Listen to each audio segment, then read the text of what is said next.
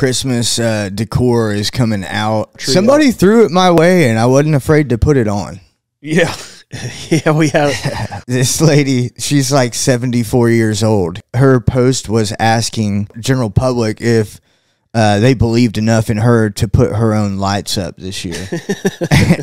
Imagine England coming to America playing football, like actual fo- American football, and we tie them. How embarrassing that would be. Like even if it was NBA, like if they came over here played basketball against us and they tied us, I would be like, "What are we doing, LeBron?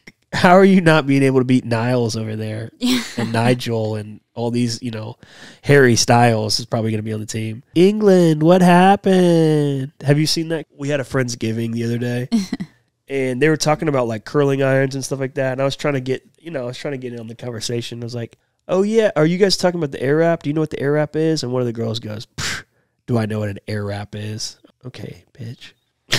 Damn. You got Chili's, Cheddar's, Applebee's, TGI Friday. It's a grease fest, but I like it. Applebee's at our by our our house is always packed, and it's got you know a bunch of divorcees in there just chilling at the bar. Yeah. Um,